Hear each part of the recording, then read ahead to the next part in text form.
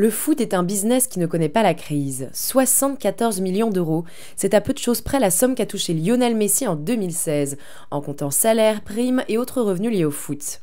Et le duel qui l'oppose à Cristiano Ronaldo n'est pas que sportif. En renouvelant son contrat avec le Real Madrid, le Portugais s'est assuré de 23 millions d'euros annuels. Paul Pogba détient quant à lui le record du transfert le plus cher. Le Manchester United s'est offert les talents du jeune Français pour 105 millions d'euros. Ce club est d'ailleurs le plus rentable au monde avec un bénéfice de 190 millions de dollars en 2014-2015. Mais l'argent du foot a parfois une odeur de scandale, comme l'a illustré l'affaire du FIFA Gate. Depuis 1991, 132 millions d'euros de dessous de table auraient été versés à des dirigeants de l'organisation en échange de droits médias et marketing.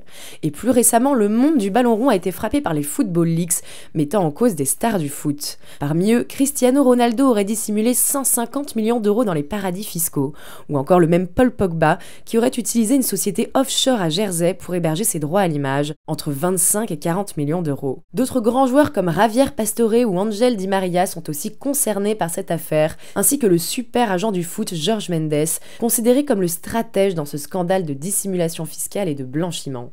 Alors, fini le football passion? Le foot professionnel n'est-il plus qu'un business?